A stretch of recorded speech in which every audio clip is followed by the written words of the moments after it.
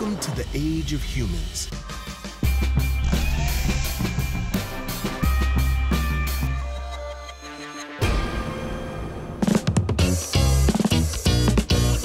Human Footprint has, I can easily say, has been the single hardest thing I've ever tried to do in my entire life.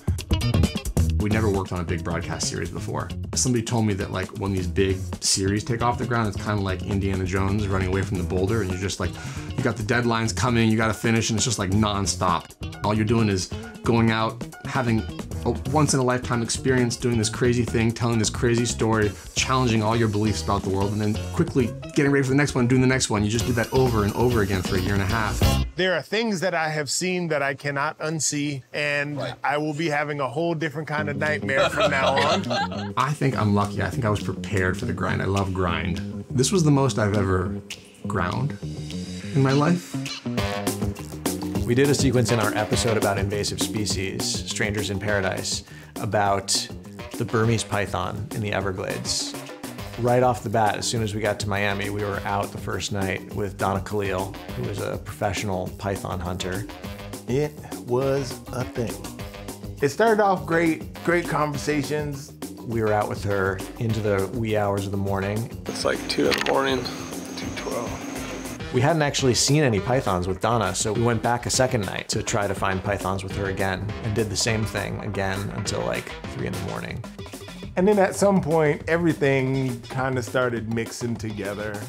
We'd kind of just be like searching, and at a certain point, everything starts looking like a snake, and it just feels like you're kind of hallucinating, kind of losing your mind.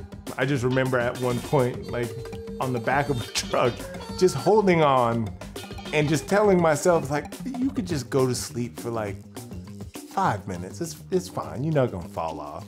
Shane's literally sitting on the back of the truck with his, with his eyes closed. So I call Neil. I think you need to like make sure that those guys are awake. And Rick has been staring straight forward for an hour. Hasn't moved. I definitely thought I saw a python. No, I'm positive I saw a python. I think is the exact phrase that was in a cup for a while. Like me in the background going, I'm positive. You definitely saw a python though? I'm positive. In hindsight, it definitely could have been a very wiggly looking stick. Nathan Bajorja lives on in our hearts.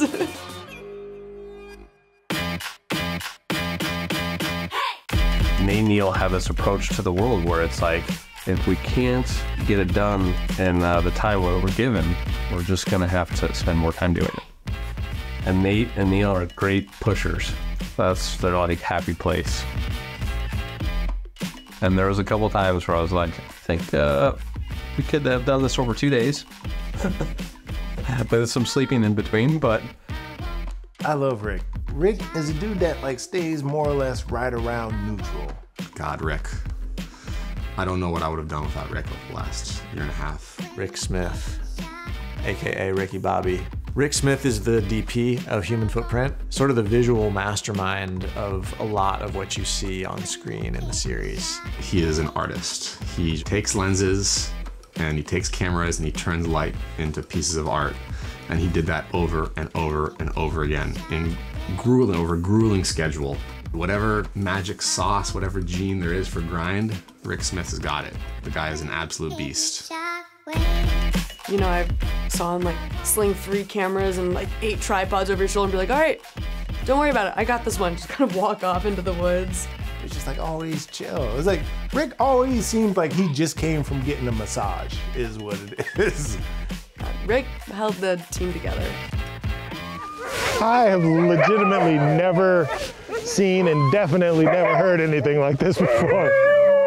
One of the episodes is about dogs.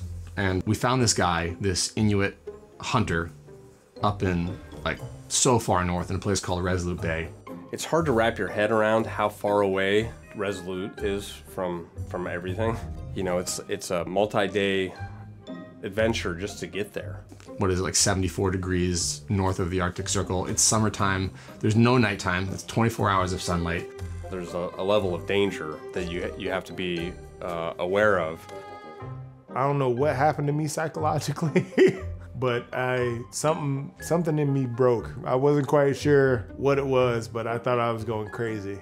Luckily, Rick was there. He's like, "Hey, bud, it's three o'clock in the morning. It's really late, and we're gonna get you some food, and we're gonna put you to bed." you don't even realize like how close you are to shut down.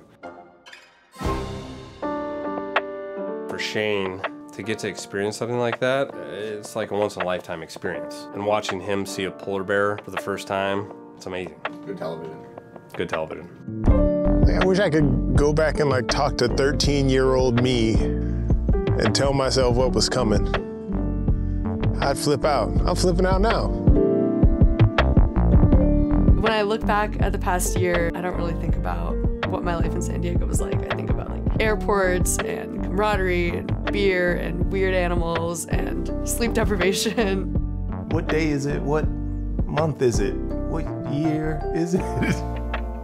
every new experience kind of washes over you in this way that's like both it's impactful but also you can't even remember it did i go to singapore was i at that wild horse roundup was i in the arctic We went to 44 different cities, interviewed well over 100 people, slept in, I don't know, like 80 different Airbnbs. I slept on the floor. I shared a bed with Neil, shared a bed with Rick, you know, slept in tents. When everything is said and done and we have six hours of television that's going to air to a massive audience around the country through PBS, uh, that's going to be incredibly gratifying. I'm going to be very proud of our whole team. Everybody is working and going above and beyond to, uh, to make this series everything it can be. And I think it's going to be something really special.